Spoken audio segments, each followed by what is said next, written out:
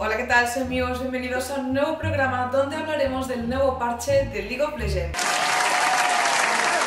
Para empezar, presentamos... ¡Eh! ¿Qué pasa? Pero que esta es mi sección, que esto es la arena, ¿qué haces? Porque he venido desde Londres porque vi que tenías unas mierdas de visitas y digo, voy a ver si animo esto porque si no... Hablando de LOL.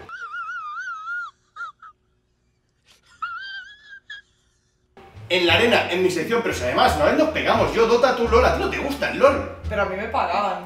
Fatality. A mí me pagaban, dicen, en fin. Vaya par de chaqueteros para ir nuestra madre.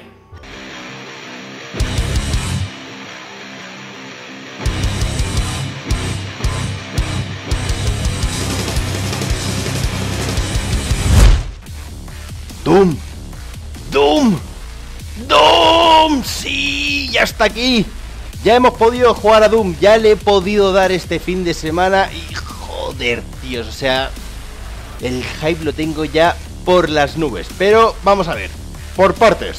Como siempre os digo, este no va a ser una impresiones al uso. No voy a hablaros de la cantidad de modos de juego, de armas. Hay mogollón de vídeos, mogollón de impresiones donde os van a hablar de eso.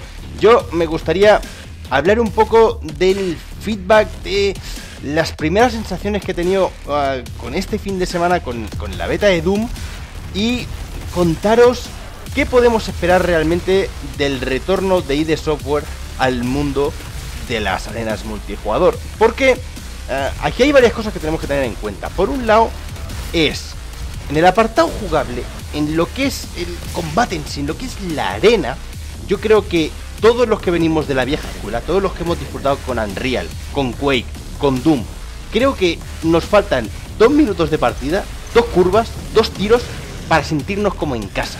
Es una cosa difícil de explicar, pero muy fácil de entender para todos los que hayáis jugado a juegos de ese tipo. Ese control perfecto, esa respuesta exacta a nuestras acciones, tanto del movimiento como de las armas, ese feeling tan difícil como digo de describir pero tan reconocible cuando nos encontramos ante una obra de ID Software. Esto es puro Doom, esto es puro arcade, es realmente una arena sangrienta donde lo que importa es nuestra habilidad a las armas, nuestro control del mapa y nuestra skill. Nada más, eso es lo que importa. Mm, hemos probado dos modos de juego y a mí ambos me han devuelto, pues eso, hace una década o casi dos cuando me dejaba la pasta en los cibers con los colegas jugando a este tipo de shooter que hoy en día tantos han perdido. Y es algo que, más allá de lo que os digo, más allá de ese feeling, también se, se ve plasmado en conceptos tan olvidados como por ejemplo un time to kill alto. Hoy en día estamos acostumbrados a que, pues eso, en Call of Duty, tres tiros de una K-47 a 100 metros de distancia me maten sin saber de dónde leñe me han disparado. Hoy en día todos los juegos se mata súper rápido. Aquí volvemos a la idea de que un tiroteo es una cosa que puede alargarse en el tiempo, donde yo puedo ir corriendo, me pegan un misilaco que me deja a mitad de vida, pero oye, solo a mitad de vida. Puedo darme la vuelta, puedo empezar a esquivar, puedo jugar con el escenario, puedo responderte, puedo cambiar de arma y dependiendo de la situación, puedo incluso darle la vuelta al combate y acabarte machacando la cabeza a ti. Eso es algo que yo había olvidado. Desde Quake 4 no jugaba algo parecido.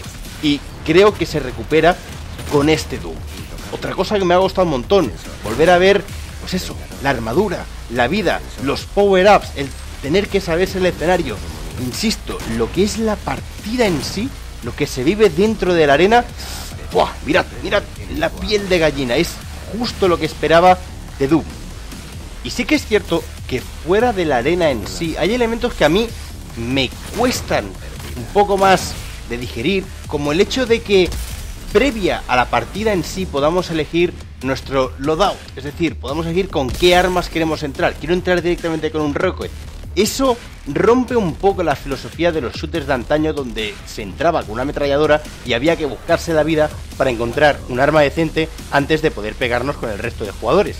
Eso es algo que los más puristas debemos entender que se hace en pro de acercar al título gente que no está preparada para una experiencia tan hardcore como la que se vivía años atrás o como la que va a proponer en el futuro el prometedor Unreal Tournament, que por cierto, a mí está creando otro hype brutal, pero bueno, ya hablaremos de él. Insisto, hay elementos como la progresión para desbloquear determinadas armas, ese sistema de loadouts que acerca el título un poco al, público masivo para adaptarlo a, lo que se espera hoy en día de un shooter. Dicho lo cual, y es que me lo estoy viendo venir y leyendo determinados comentarios en foros, en Reddit, el que diga que por eso este Doom es un Call of Duty no tiene ni puta idea de lo que está diciendo. Así de claro, esto no es un Call of Duty, esto es una arena, esto es un Doom, esto es algo diferente. Así que, tranquilos. Creo que lo que esperábamos un shooter como los de antaño, sin ser Quake, porque esto es Doom, no es Quake 5, ya habrá tiempo para un Quake 5. Y era un shooter con el sello de calidad de ID Software, está de enhorabuena. Vuelve Doom, vuelve el rey de los FPS. ¿Qué?